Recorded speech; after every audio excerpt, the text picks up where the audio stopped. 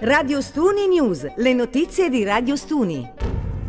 Sabato 5 novembre 2022, San Zaccaria. Dallo studio 3 Lillo Zaccaria per le news. Celebrata ieri la giornata delle forze armate e delle associazioni combattentistiche d'armi nel giorno dell'unità nazionale hanno fatto riflettere le parole di Don Giuseppe Capriglia durante la sua omelia tenutasi presso la chiesa della Madonna delle Grazie, toccanti le parole della dottoressa Antonietta Lonigro in rappresentanza della commissione straordinaria.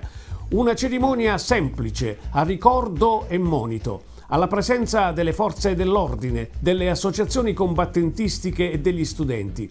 Il coro Antonio Le Grottaglie ha intonato l'inno nazionale suonato dalla banda musicale Città di Ostuni. In questo giorno il pensiero va a quanti hanno sofferto sino all'estremo sacrificio per lasciare alle giovani generazioni un'Italia unita, indipendente, libera e democratica. L'intervista di Giuseppe Semerano. Abbiamo i microfoni di Radio Stuni, la dottoressa Antonietta Lonigro, viceprefetto, nonché componenti della commissione straordinaria che regge le sorti del comune di Giustuni. Dottoressa, abbiamo ascoltato il suo discorso qui al Monumento ai Caduti, un discorso dal quale si vedeva la sua commozione nel leggerlo. Beh, eh, questa è una data fondamentale per tutti noi, tutti noi italiani e per la comunità di Ostuni. E con viva gioia ho visto la partecipazione di tutti, quindi come non essere commossa commossa anche per i ricordi della, eh, della mia infanzia, eh, il ricordo di mio padre, era, era un militare, era, faceva parte dell'arma dei carabinieri, quindi io ho sempre vissuto con molta devozione questa, questa data, questa festività. Quale messaggio vorrebbe donare e lasciare ai nostri ragazzi che oggi hanno partecipato numerosissimi con lo sventolare delle bandiere tricolori. Quello che preoccupa nei ragazzi è la passività, per cui quello che mi piacerebbe aver lasciato mm, è l'invito a eh, dialogare con eh, i propri genitori e con, eh, e con, i propri nonni, ma anche con le associazioni combattentistiche che vedo qui, numerose partecipanti. E bisogna tramandare questo ricordo perché senza il ricordo cosa siamo? Cosa siamo? È importante, importante eh, come in un gioco sportivo eh, passare la staffetta.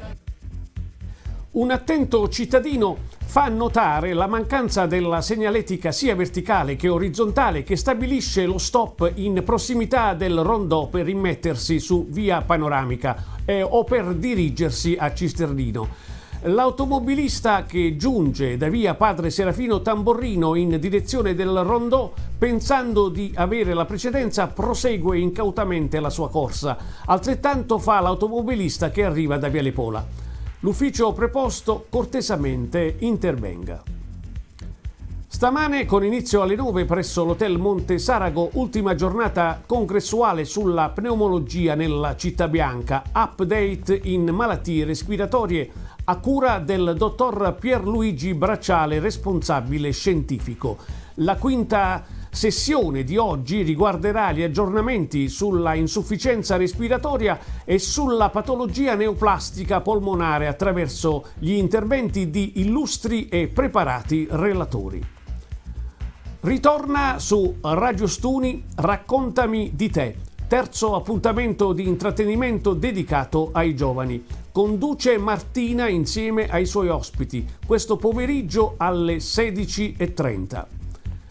In programmazione allo Slow Cinema fino a lunedì 7 novembre il film Astolfo di Gianni Di Gregorio. Il regista parla di vita e di amore con la solita irresistibile semplicità. Spettacoli alle 18.30 e alle 21. Sport calcio a 5, quinta giornata del campionato di Serie C2. Il Futsal Ostuni affronta il Coco On Fasano, inizio alle 16. Si gioca a Fasano presso la palestra Salvemini.